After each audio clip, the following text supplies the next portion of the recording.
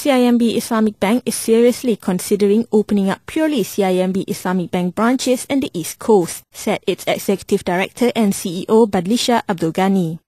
At present, CIMB Islamic Bank and CIMB Bank, its conventional counterpart, are operating under a dual banking platform at 318 branches nationwide. CIMB operates on a dual banking leverage model, so both CIMB Bank and CIMB Islamic Bank exist in the same branch. Uh, so two banks under one branch.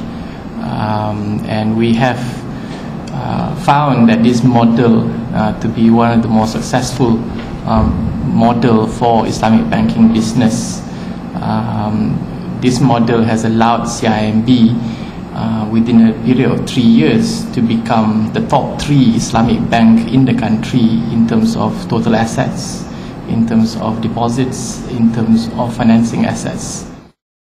Speaking to reporters after the launch of Easy Life Takaful, a series of takaful plan for men, women, children and retirement and for health, he said that the market sentiment in the East Coast areas would want more green in terms of branches, referring to the green colour team of CIMB Islamic Bank.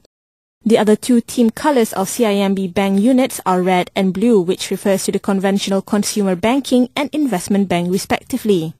He added that there is a possibility that the branches may be open within this year.